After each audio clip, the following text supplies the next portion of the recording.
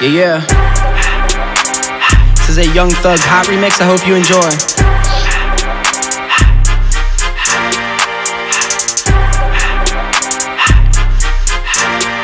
Uh, yeah.